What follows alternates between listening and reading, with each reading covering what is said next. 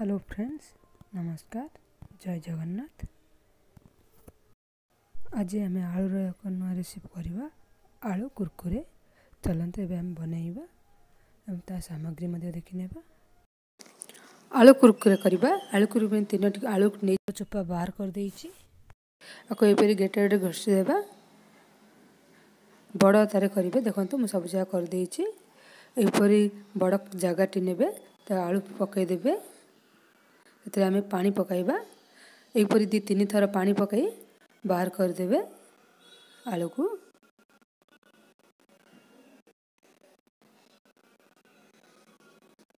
ଦେଖନ୍ତୁ ମୁଁ ଦୁଇ ତିନି ଥର ଏହିପରି ହିଁ କରିଦେଇଛି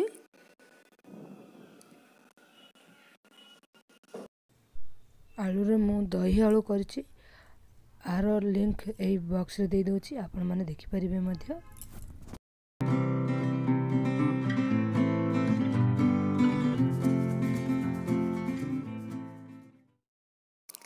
ମୁଁ ତିନି ଥର ଏହିପରି ଧୋଇ ଦେଇଛି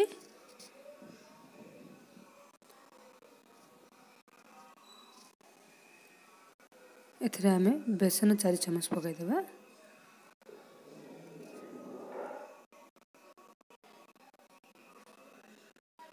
ସେଥିରେ ଆମେ ଚାଉଳ ଚୁନା ପକାଇବା ଏଥିରେ ଆମେ ଚାଉଳ ଚୁନା ଚାରି ଚାମଚ ପକାଇବା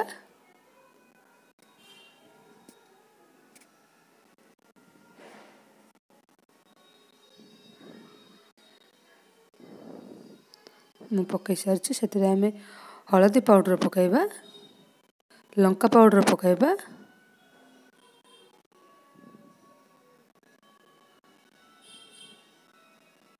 ସେଥିରେ ଆମେ ଅଦା ପକାଇବା ଅଦା ଓ ମରିଚ ପକାଇବା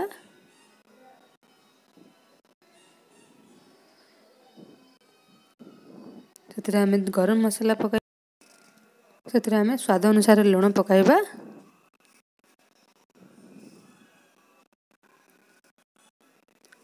କସ୍ତୁରୀ ମେଥି ପକାଇବା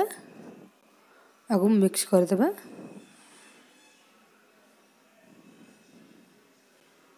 ଆକୁ ଏପରି ମିକ୍ସ କରିବା ଏପରି ମିକ୍ସ କରିବା ହାତରେ ମିକ୍ସ କରିଦେଲେ ଭଲସେ ମିକ୍ସ ହୋଇଯିବ ହାତରେ ହିଁ ମିକ୍ସ କରିଦେବା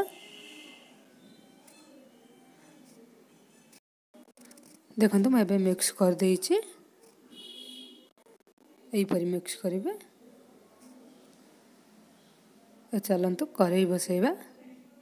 କରେଇ ବସାଇବା କରେଇରେ ତେଲ ଦେବା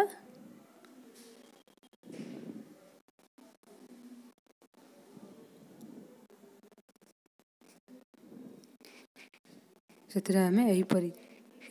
ବେଶୀ ଅଳ୍ପ ଅଳ୍ପ ଧରି ଏହିପରି ପକାଇବା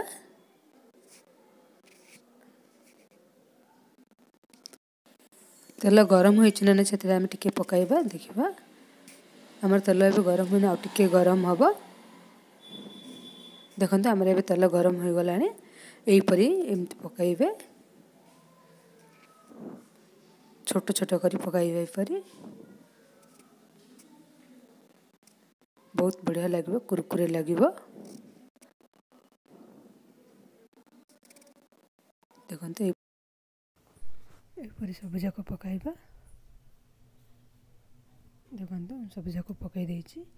देखते आम गोटे सैड हो गला ओल्टई दे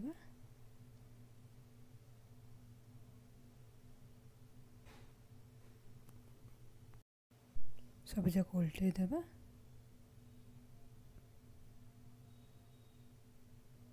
देखता आम गला प्लेट को बाहर करदे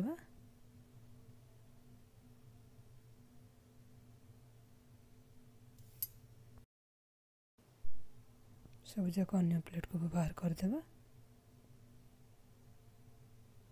ସେମ୍ ପ୍ରୋସେସ୍ ଆଉ ଥରେ ପକାଇବା ଅଳ୍ପ ଅଳ୍ପ କରି ପକାଇବା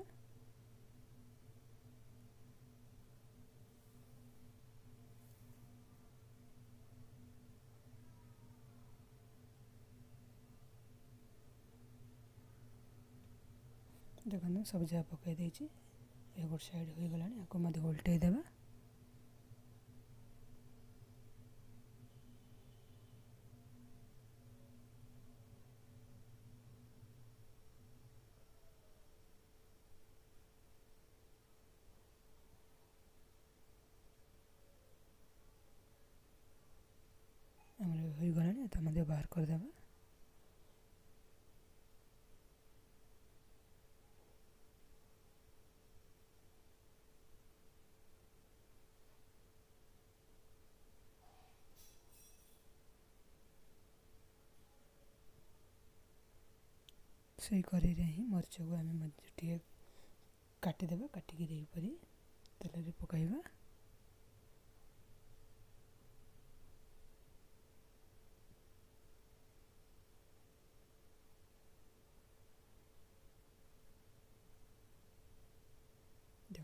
ମାଂସ ଏବେ ହୋଇଗଲାଣି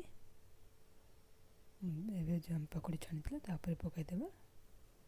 ଦେଖନ୍ତୁ ଆମର ଏବେ ହେଇଗଲା ଆଳୁ କୁରକୁରେ ରେଡ଼ି ହୋଇଗଲା ଆଳୁ କୁରକୁରେ